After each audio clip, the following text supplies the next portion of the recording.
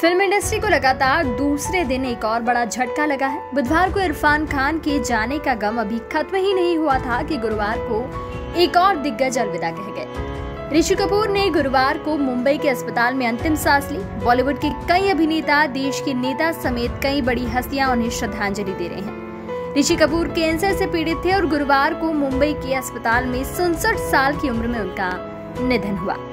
ऋषि कपूर ने बॉलीवुड में अपनी शुरुआत 1970 की फ़िल्म मेरा नाम जोकर से की जिसमें उन्होंने अभिनय किया और निर्देशन पिता राज कपूर ने किया। ऋषि कपूर तब 18 साल के थे और उन्होंने फ़िल्म में अपने पिता के प्रतिष्ठित किरदार राजू द क्लाउन का छोटा रूप निभाया। युवा राजू के रूप में ऋषि कपूर ने सिमी गेरवाल द्वारा अभिनीत अपनी शिक्षक मैरी की भूमिका निभाई और उनके अभिनय को फ़िल्म के साथ बहुत खास माना जाता है। जो कि बॉक्स ऑफ़िस पर रिलीज़ होने के बाद भी सफल रही। राज कपूर ने खुद मेरा नाम जोकर को अपनी फ़िल्म के पसंदीदा भाग में से एक बताया है। हाल ही में कपूर एंड सन्स जो 2016 में आई ऋषि कपूर की एक नवीनतम फ़िल्म है, जिसमें उन्होंने एक काल्पनिक कपूर परिवार के सबसे बड़े सदस्य का अभिनय किया है। मेरा नाम जोकर और कपूर एंड सन्स के बीच बहुत सारी फ़िल्में बनी हुई हैं। ऋषि कपूर को बॉबी, रफू चक्कर, अमर अकबर एंथनी, दूसरा आममी सागर करज, चांदनी, दामिनी, बिजली और याराना जैसी फ़िल्मों के लिए सराहा गया। एक बार फिर उन्हें student of the year Agneepath all is well और सनमरे जैसी हाल ही में फ़िल्मों में देखा गया। कपूर परिवार की एक संयुक्त फ़िल्म जो 2013 में आई थी, जिसका नाम बेशरम था, उसमें कपूर परिवार में पत्नी, नीतू, पुत्र रणबीर और ऋषि कपूर ने एक साथ काम किया था। ऋषि कपूर के दोस्त, रिश्तेदार और सुपरस्टार अमिताभ बच्चन ने गुरुवार को ट्वीट कर ऋषि कपूर के निधन की जानकारी दी।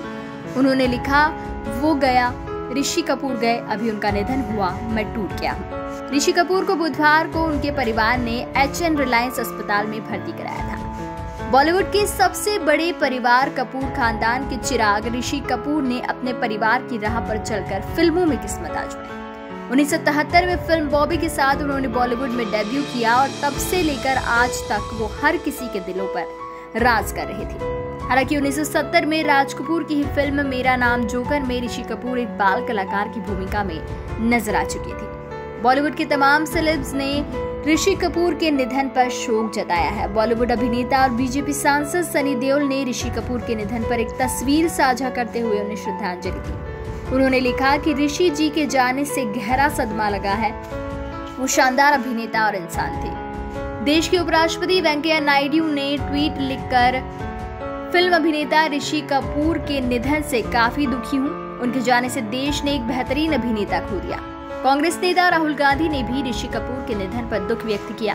राहुल गांधी ने लिखा कि यह हफ़्ता भारतीय सिनेमा के लिए काफ़ी दुख देने वाला है। एक और लेजेंड ऋषि कपूर आज हमारे बीच से चले गए। एक शानदार अभिनेता जो हर जनरेशन के लिए प्रेरणादायी थे। बॉलीवुड के सुपरस्टार अक्षय कुमार ने ट्वीट कर लिखा कि ऐसा लगता है कि हम एक बुरे सपने के बीच में हैं। ऋषि कपूर के जाने के बाद बड़ा झटका लगा है, ये दिल तोड़ने वाला है। वो महान थे, एक शानदार दोस्त थे। उनतीस अप्रैल को हिंदी सिनेमा ने एक्टर इरफान खान को खोया था। अब इरफान खान के निधन के एक दिन बाद 30 अप्रैल को ऋषि कपूर अलविदा कह गए। बैक टू बैक दो दिग्गज अभिनेताओं को गवा देना फ़िल्म इंडस्ट्री के लिए बहुत बड़ा झटका है। Subscribe our channel and press the bell icon for more updates